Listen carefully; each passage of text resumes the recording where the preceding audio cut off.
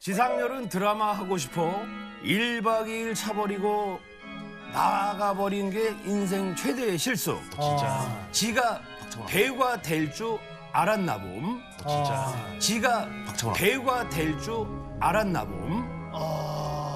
음. 노인정. 노인정. 예, 제가 뭐 이따가 시간이 되면 말씀드리겠지만.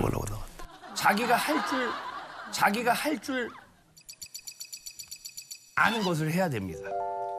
제 밭은 예능 밭이니까. 한설수. 어. 그러면 일단 근데 1박 2일 그만둔 거는 실수라고 생각해요?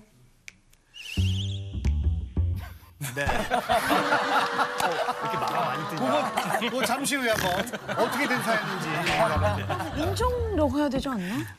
그래도 저기 부동으로 따지면 노인정. 내가 1박 2일을 했으면 내가 여기에 없을 수도 있어요. 어. 네. 더잘 잘 되지 않았을까요?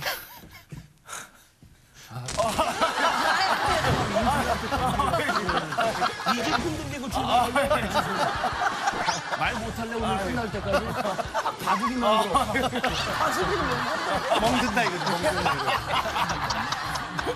이거 아, 세상 웃겨. 어디까지 한 거야 근데? 아, 아. 와 안습이라는 말을 창조한 사람이 지상렬이었구나. 근데 맞아, 맞아. 지금 본인이 안습이네. 멘탈 나간 것 같아. 오빠 정신 차려야 돼요. 정지하면 안 돼. 손 떨림, 손 떤다.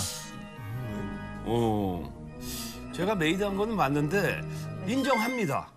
인정합니다. 아 인정하고 올해 이제 50을 살아보니까 왜 나의 아이가 있어야 되고 왜 결혼을 해야 되는지 뭐 이런 부분 때문에 인정을 합니다. 진짜? 네네. 예.